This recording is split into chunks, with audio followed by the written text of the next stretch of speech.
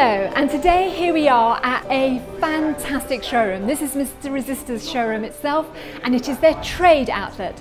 However, they also have a retail outlet in the King's Road and amazing online service. So anything that you see here in the showroom is available online, or you can go and visit, or you can come and see it. They are a superb setup. Now, let's go and have a chat with Lee, who's in charge of this organisation. Lee, thank you very much for having us here today. It's been marvellous to have a look around the showroom already. I know we're going to have a look further. But really, I wanted to say, how did you get to here? Because it's an amazing operation. I mean, I've known you, you for quite a few years, but to be perfectly frank, it has grown and grown and grown. What's your secret? Um, well, I've got to put it down to my mum and dad and, and, and their partners who started it in 1968. Um, it was their kind of idea to open a shop right. to make people aware of modern lighting, downlighters, spotlights, track. So really, that was the beginning. I was very fortunate that I worked with my dad sure. since I was very young. Um, and obviously, with the first shop opening in 1968 in Fulham, we've just progressed. We had to get bigger space. We had this idea always wanting to do lighting design. So in 1999, we moved across to Wandsworth to have our warehouse. Um, but basically, the, the, they were always very passionate, my dad and his partner John Wise and, um, and John Bloomfield. Uh, he was a, another partner of ours. And they just took it, to, they just were so passionate. They always wanted to do nice lighting in people's houses. And in those days, it was just pendants and wall yes. lights. There wasn't any, any accent lighting. No. Um, and this is how it all started. And since we just got more and more people that wanted more advice. So we had to get a bigger showroom, we had to have a bigger warehouse. Now, obviously, online's come along. And this is what we've done now. We've, we've just keep on improving and we've also made all our own products to a level and we do other people's products because obviously we always want to sell the right product for the right job. So our products may not always be the right product. So we're always going to put forward in the lighting design the right product, and that's what we do. And I think you also have a lighting design team here, don't you? Exactly. So, so over the last eight to ten years, we've had a lighting design team, and we have three or four people who can do the AutoCAD drawings, or if some people want lighting design done differently, they just want some advice, they can come to the shop for advice. They can sometimes have a consultation which is a couple of hours with our designers, or they want to have a full spread lighting design because they've got controls and they want a proper drawings for the electricians. Sure, yes. And that's really important because if you can't, it's all very well to design something, but you've actually got to give the trades, the electricians, the information so they can actually install it yeah. correctly so that it works. And with today's uh, amazing control systems, and I mean, yeah. they are amazing, um, you need people who know what they're doing, really, don't exactly. you? Exactly. I mean, we always say get the lighting correct in the house first you know that you also need more detail. You need layouts of the room so we can get the position of the fittings correct. Yes. then we can then tell people how to advise to turn them lights off. Most people in some cases just want a simple control. Sure. but when it's a, a, a, house where it's open plan and there's a garden um, you, you need to have switches which can change the lighting in both rooms you know, we call the garden a room as well as the the, the, the, yeah. the, living space. And, and, that, and that's how we do it. So we try not to make it too complicated switching at first. We work out the lights. Then once we know the lights and we know the circuits, then we can advise on a very simple dimmer to a full-blown control system with iPads. Yeah it depends on, the customer. Some people just want a few circuits and some people have got a lot of circuits. Sure. And lighting today really has grown in the dimension of interior design. I mean, I'm not a lighting designer, I'm an interior designer. Exactly. And I spent many, many years actually coming to you here at your desk and going through a plan and, and actually specifying all the fittings for Correct. those, um, uh, those schemes. Yeah. Um, and your advice is absolutely essential. And I can honestly say you can learn so much at a school but actually doing it and experiencing it and touching it touching it feeling the lights the showroom here is great turning them on seeing yes. the seeing how powerful the light bulbs are a lot of people are not aware that obviously with led now we've got so many different types of led yes. lamps and some are as not as bright as others Yeah. and don't have different beam angles. You can't create the atmospheres. When we were doing halogen Yes, many moons ago halogen, now, yeah. it feels. We didn't have that conversation. We had the different beam angles, and it was a bit easier. But now with LED bulbs, they're not all the same. No. And um, I was going to ask you about that actually because Yeah. everybody, the buzzword is LED, as if it answers every question, and it can't answer every question. There are uh, they're light fittings for lighting jobs, Yes. and they're different, aren't they? Yes, I mean obviously everybody wants LED. So obviously in 1995 when we first see the LED, and obviously the man who made the LED in the 60s, who used the LED as just an indicator light in the beginning, and it was a green or a red LED, he couldn't actually produce a light. So obviously when it was this light emitting diode that was created when electricity passes through the circuit board and the semiconductor emits light, it was like the, an, a wonder of the world. Sure. But the guy only could use it as an indicator light. Right. So obviously in the late 90s when the blue LED arrived with using the blue and mixing different phosphors and paints basically onto the blue, we could produce the different LEDs. Okay. And then obviously then the LED's gone from strength to oh, strength and the absolutely. lumens has got brighter. But you are quite correct. A lot of people don't use the older light sources, the fluorescent tubes and the, and, and, and the metal halides. We still, they have a place. But at the moment, the word is LED. Everybody's trying to get all the tennis court lighting in LED. Okay. They're trying to get all the Sainsbury's and all the departmental stores to have LED, LED. strips instead of using fluorescent tubes. Yeah. So they still have a part, but obviously everybody wants LED. And with LED, it's so flexible because it, it, it- you It can so mix color temperature, you can Yeah. change color, you can now it's digital, and and you can address the product so not all lights stay on, and then that's where the controls come in because they're building the the LED. Uh, uh, drivers inside that are intelligent. So these lights control automatically. Your phone, as you pass by, can make the lights change colour or change a different brightness. Or if you're looking for a jumper in a store, it can lift up and be brighter in the store. So it's so clever LED now. We, you never had all these options. I mean, it, to somebody like me, I find the lighting revolution so amazing. I cannot, as a, an interior designer, keep up with it because it's it's galloping away with us all the time. Yeah. So really, bringing in the specialists when you're doing a bigger project is almost, I think, is, is Yeah. almost essential. Really. Yeah, it is. I mean, I think there are things you can do, and you, you can use your Google and you can do your studying, and, and it's always good to do your research. Sure. But I think, like, coming to the shop, and I always say to people, if you come to the shop, we can turn the lights on. You can see the See the lights. lights, If you can see the light, then you can see the difference Of course. straight away. You can't have that experience going on to Google. No, of course you um, can't. Um, can you explain to me, because people don't actually appreciate, and I, I find this a lot, that there is low energy fittings and there are LEDs, and they are different fittings. They're both low energy to a certain, Yeah. to a certain extent, but we have, um, for instance, in my kitchen, I have low energy fittings Yes. from you. There's the square variety, Yes. and they're low energy, but they're not LEDs. Obviously, yes. I mean, obviously, before LED, to, to achieve low energy, we would use fluorescent, and those fluorescent tubes obviously uh, use a certain amount of power. You know, some tubes can be 50 watts or 58 watts, depending if they're a linear tube or an L tube or a Yeah. 2D shape.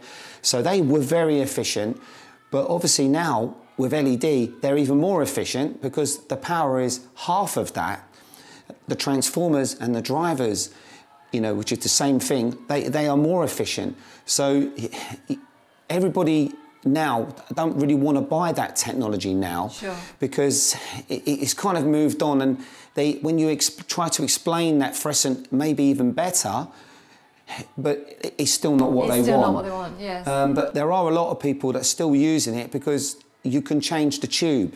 The advantage of ch- lamps and fluorescents is that if we want a white and we want a warm, we can change the lamp. So sometimes with LED, you have to choose the colour unless it's a LED that has two whites. So then that's quite complicated because they can't make a decision. But you're right, there are basic fluorescent tubes and compact lamps that have transformers in that are still very good to use uh, on the low energy side. Sure. But the that every time someone comes in, it's always LED now. LED. I mean, a few years back, still everybody's still buying compact fluorescents because they were the most reliable. The LED weren't quite there, but now the LED, we It's have. OLEDs, we have SMD, we have optic lenses. Everybody's now going to that. It's very difficult for us to sell any of the old technology now. Okay. But you are right. They are man enough for the job, Yeah, and sure. you should use them. You Sure. know. Okay. So in domestic situations, we've also got building regulations to consider because they're now making it even more tough on us. We have to be eco-friendly, and so the LED industry is really leading the way and Yeah. helping us dramatically keep to what they're asking us. Yes. Um, so I mean, LED obviously is is the buzzword and will continue, I think, along those those lines. I think so. I mean, obviously, we don't know what's round the corner if laser or anything else might come out, but at the moment, LED's getting smaller, LED's getting brighter, and you can do more for more things with LED. You know, as I say, you can put the chips inside that you can control from your phone or a switch. And you can do so much with it. One light can be four products. It can be warm, it can be cool, it can be colour. So this is a, this is options are options. amazing. Going back to the efficiency, I mean, obviously, 10 years ago when the lamps were made, the LED, some of them never met the part L. And obviously, the reason for that is that the lumens of the LED wasn't, uh, wasn't bright enough and the wattage. So we had to meet something like over 50 lumens per watt uh, or 40 lumens per watt. So obviously, that wasn't, you couldn't do that. So all our LED lamps that we sell meet that efficiency. So you are allowed now to buy a retro bulb and to put it into a fitting as long as it meets meets the. So domestically, that's the that would be the rule. But commercially, they would want more more, yes. efficiency. Yes, I mean, essentially, we're looking at the domestic scene here. Um, but something else I wanted to ask, which I noticed in one of your brochures, was dynamic white, Yes. uh, which was a replacement, which, which works with the GU10 yes. um, fitting, Yeah. and it changes the colour of the LED, which Yes. I was absolutely gobsmacked when I read. Yes. So what we've got there is obviously we have different LED GU10s, different colours of the white, starting from 27K, which is like a candle light. If we lit a if we lit a match, it's that kind of shade. And then obviously we have 3000K, which is a slightly warmer and it's a crisper light, the light that we're under now, as you can see here. Yeah. And then we have a cooler light. So really, those lamps are the real main sellers. But now a lot of people are looking for a lamp where when you dim it, it can dim very warm. So it starts off a, a very crisp light, but then it can dim dim down to a very yellow light. So that is very popular as well. But mainly the standard 27k, 3k, 1000k is the more popular for us. We have the technology of the dynamic white, like you said, where you can choose the white. So the advantage of that is Yeah. not only are you dimming down, but you can say, right, today at night, eight o'clock this morning, I want cool light. And I can turn that on, and then in the evening, we want to live in a warmer light. So that that technology is getting more popular now. Um, It was new when I when I read that. I thought, well, actually, for a domestic situation, that's actually particularly relevant. It would work very well. you can do that a number of ways. You can either do that with lamps, you can either do that with LED strips, Yeah. um, or small LED panels. Um, but generally, those kind of products are more for the commercial. LED strips are very popular. We saw a lot of those people put them in furniture. And they're building. Everyone loves to build shadow gaps now Yes. to have invisible lighting. So with that product, you've got the best of both worlds. You know, and and we do specify that, Debbie, Yeah. a lot. And um, something that I, I try to explain to customers is that you do not want to look directly into an LED Correct. light. It should be um, immersed in some form of a, uh, baffle. baffle or it's got some Honeycomb. diffuser or something that Frosted lens. a frosted lens because they're not nice lights to look into, No. are they? No, I mean obviously that there's people that design downlighters, and obviously we've come a long way with downlighters. You know, a lot of big companies who have put downlighters where the lamps are sitting higher up. So we always advise that we don't want to see the light source. Sure. So there's always either going to be a baffle, or there's going to be a honeycomb, or a slight little hood on the light. Or in some cases where we want the light to be very diffused, we use a frosted lens. Sure. So you're right. That that is an important thing. People don't consider that. They buy a downlighter, and it doesn't have any of those features. Yeah. And that's important in Yeah. our case. And also, there are, I hate to say it, but there are a lot of cheap fittings on the market. And you pay for what you get, really, don't you? Exactly, you do. I mean, obviously, you know, some downlighters, people that, that are designing, they've not come from a background of foot with the interior designers. We have, so we know that our interior designers, they're, they're very fussy on how the, the downlighter looks. Absolutely. They want a chamfered edge, Yeah. or they want the right paint finish on the downlighter, or they want it trimless. Yes, the And then- trimless plastered in and version. and Yeah. um, and that, that that is why some of the, the basic downlighters they're not, they don't really give you the effect No. you know and, and it is important to choose the right fitting for the job because some houses are more modern some houses are, are a bit more traditional but then it's making sure also putting the right light source in, inside that lamp how, how bright you want that lamp to be you've got higher ceilings you need brighter lamps Yes. um, and, and, and that's important to choose the right lamp I mean, very often people say, okay, where do I position my my lights? And I say, well, how high is your ceiling? Exactly. What are you trying to light? Exactly. Um, We need- pictures. people we, are always we need wanting- we need a rough layout, even Yeah. even even if the layout's not set out in 100%. 100 percent, Yeah. Then we can position the lights, and then we can then get a cost, and then we can then obviously upgrade it because Sure. everything evolves. But I think I always tell everybody to make sure to try to get some planning Yes. of the kitchen So layout. The more information we know, if we know you love art, we want to light your yeah, art Yeah, definitely. and Yeah. that's important. So I really, people should do a lot of homework on their on their house, even if it's not. 90% there. Yeah. If they've got it 60 or 70%, we can then start creating the lighting plan. Fantastic. I mean, you are music to my ears because people don't understand. I had a client the other day who said to me, um, "We've just finished. We're just finishing off our extension." Yeah. And when somebody says that, it means to me they've plastered. I mean, once you've And look- plastered, we're then going to have to chase through that plaster to start installing cables Exactly. to run their fittings.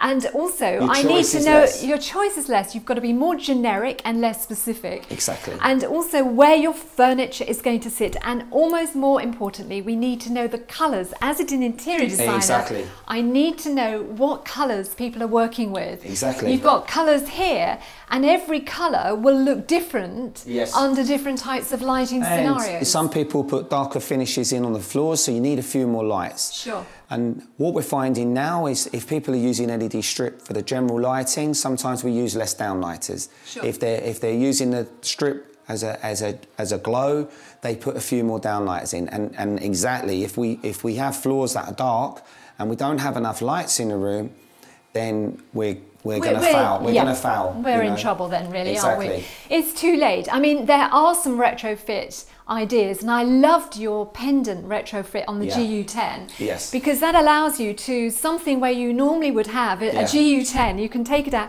and you can retrofit a, a pendant. Exactly. I which mean- is amazing. In vogue is the cotton cables, you know, which come from Yeah. Ireland that we buy, and um, there's other people who do them. And that's a great idea because, you know, with the downlighter, you can change it, you can have a different look. Sometimes you can't decide on where your pendants are going, you Sure. can't decide on your decorative Yeah. lights. And with these in vogue lamps that are coming, we didn't have all them because now we have LED, we have tinted, we have clear, we have nice shapes, and they look like rocks, they look like globes.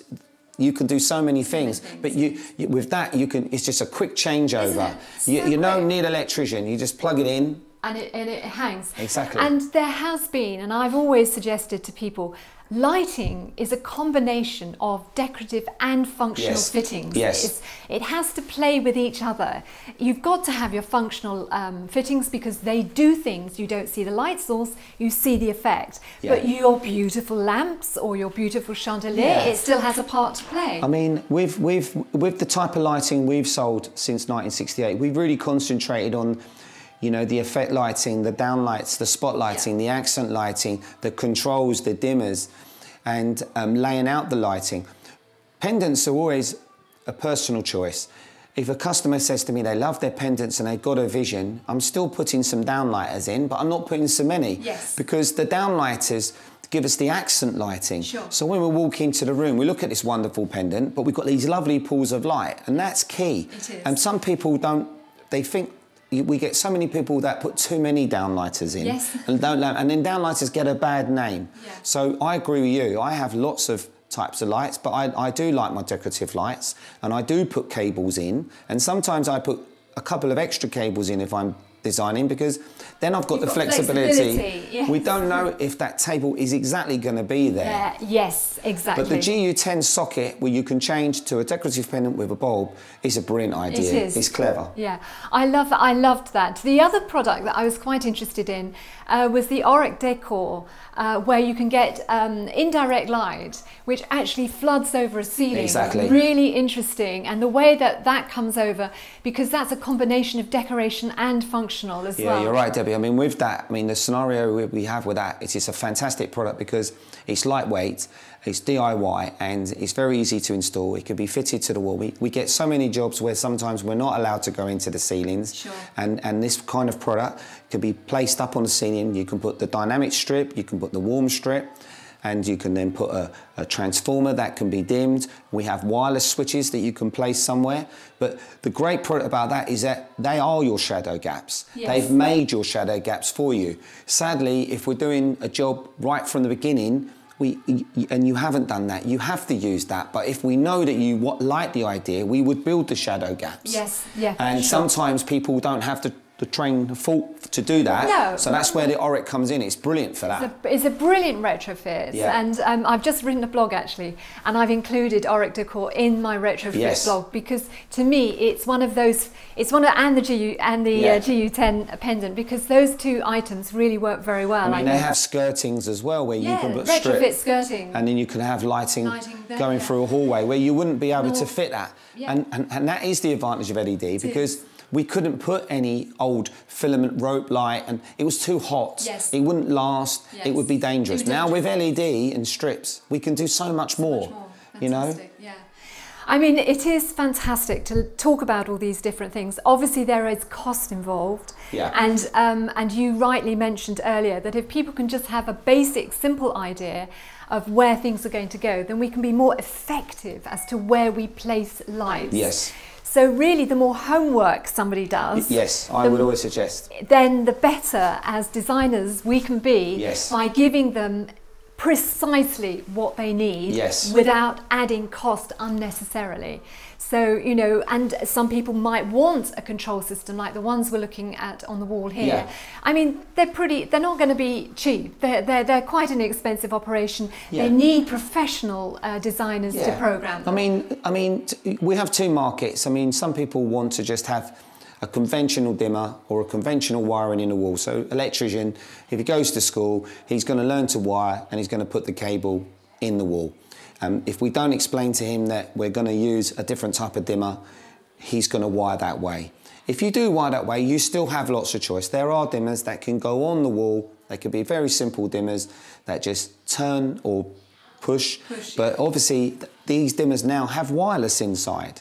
So these dimmers can speak to your phone or they can, can be controlled with another wireless switch. I mean, one of the ones that we always kind of sell, which is really good, is if a person has wired a bedroom and it has a standard dimmer on the wall, the thing that you don't generally do is put the switch near your bed because you don't know your bed position 100% or you don't know where the switch can be, the cabling can be placed because you don't know your bed head. Yeah. So the simple one is you can wire the dimmer and use a wireless switch. So we have very simple Wish systems. I'd known about that.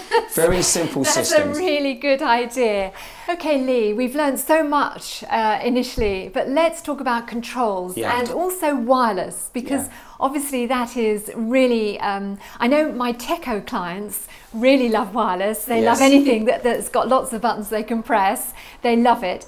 But um, tell me, there's different types of control, wireless controls. Yeah, I mean, first of all, we listen to the client. As I said from the beginning, we do, we get the layout, we, we, we make sure the right lights have, are in the position. We then think, oh, do we want this downlighter to come on this painting, once we get the circuits. Once we can work out the circuits, then we put forward a couple of ways to control the house, and we put forward what we think. We become the devil's advocate. We say, right, they can do one option, Okay. can be wireless. Yep. One option can just be a hardwired dimmer. Yep. A, a customer just might love just a standard dimmer. They might want a Cat6 cable to place so they can have illuminated switches. Sure. But generally, most of the designs we're doing where we're having six or more circuits, which I generally think is my kind of number. If it's a few circuits, it, I use a simple dimmer. But if it's more than a few circuits, it's so complicated to control, and we use wireless. So the reason we use wireless is that the switches can be placed exactly where you want them Yes. at the end of the job if you want them to. Yes. The advantage is that you can also have more than one switch. Okay. From any switch, you can program any type of effect. And if, as a lighting designer, you have wired these switches exactly where you want and you don't use a wireless system, you can't, You can't change, change. the, where the switch goes. Yes. I mean, I have wireless in my house. My whole house has wireless switches. And the, the funny thing was, I'm sitting at home, my wife says to me, Oh, well, you thought of everything, Lee, but I don't have a switch behind the kitchen where the island is. Not a problem. I went to the cupboard, I, I, I pulled out a wireless switch, I copied it, I placed it on the wall for my So wife. simple. Exactly. She's a lucky lady, I have to be honest. She's So- super. Two-way dimming now becomes complicated. Three-way dimming becomes It's even more, more complicated. complicated, yeah. Placing switches near the bed because we Yeah. don't know if we're going to have a bed head, etc. Me, that train of thought is eliminated with wireless. Okay. So we only need a receiver. So the receiver is the product that has to be connected to the lighting circuit. That can either live in the ceiling if it's a retro job. If it's a more professional job, we know exactly how many circuits and we're rewiring. We replace the receivers in a cupboard Okay. and then the switches will be wireless. A lot of people say to me, how reliable is this? Well, we've been doing wireless now for 20 years. Okay. We started with Wisebox in gardens. Yes. We do many other people's products. There's a new product called Lutron Ra, Ra 2, which is very popular now. Our products are popular. They're both good. It also depends on the person as well who prefers the switch. Some people like the design. As you know, being interior designer, the client wants to look at the switch that Yeah. they like. They feel safe. Exactly. yes. Some people want small buttons, some people want bigger buttons. Yeah. But generally, the reason why we like people to use the wireless is the simplicity, but also the cost effect. You do not have to run cables to the wall. There's less wiring to be used. So this speeds jobs in- dramatically. dramatically. Yes, it would. That would really help because first fix is always a bit of a pain, and you've got plumbers as well trying to first fix, and you've got all sorts of things going on, AV and everything. So if you can eliminate some of that, it's gonna it's gonna save time on the job. I mean, the switches are the important thing to us. And then people say, oh, does it work with the phone? Yes, it does. All the, all the controls work with the phone. And with these phones now, we have the timers. Yeah. The timers become a great aspect in your life. You, your lighting can come in automatic. You're away from holiday. You can turn lights on for your friends if you want to. But generally, it's not so much turning lights on for your friends, it's the timers. You can set the timers to create all these lighting effects in your house, in the garden, and it turns off automatically. Yeah. But so you don't leave something on Yeah. which is wasting the small amount of power that actually it is using. Uh, But we always like to use the wireless in our lighting design generally because of the ease. Yeah. And it's so less complicated. We do not have to tell people on the drawings where the switches have to go. No. Logic prevails that you have a switch near the door, but we don't have to tell them it's up this high, this low. Sure. We can put as many as we want. The spec is different. It's very simple. And if you change your mind and you want to turn on the pendant from the switch, you just change the program. It's very simple procedure. You delete and reprogram. It's very simple. I mean, one of the things that we have as designers a problem is that people have a habit of changing door swings. Yes. And if it's a fixed wired um, Yes. uh, switch, they've got to walk round the door Exactly. to actually turn the light it on. become a annoying. It, beca- it can be annoying. Yeah, it- and, it is annoying. And, um, and then they say, "Why was that switch there?" But yeah, we, but it's because they've changed the door the plan has Yes, changed. it. I mean, changed. things evolve, and you don't have do. any of those problems. I love the bed one. Everyone wants to dim from the bed or Yeah. turn their lights off. Yeah. And if you've got to place a wiring up on a bed, you've got to be specific where that's going and the height. You know that with Yeah, wall lights either side it. of a bed. Yeah. It's a difficult one. And do you know, I hate to say it, I love electricians, but getting those wall lights absolutely level Yes. it's not easy. You've got probably a slightly dippy ceiling or a slightly dippy floor. So where do you go to? It's just- Exactly. and there's always a problem. And do you know, it's the first thing I notice. If Yeah. I walk in a property and the lights aren't quite meeting up, and to other people, it's frustrating. It's You're annoying. correct. I mean, you you you'll get those wall lights correct because you're always placing the wall lights in jobs like that, you know. But with the switch, that's even more complicated because do you want it lower? Do you want it higher? Sure. You know, and, and, and if you can say I can place that switch afterwards, Wherever, yeah. you have that eliminates that it eliminates all these other things that we have to worry about being designers. It's that, that's why I like to use it. Fantastic. Well, look, I'm really looking forward to building my new house because that's actually now given me inspiration to move on, do something new, and use wireless.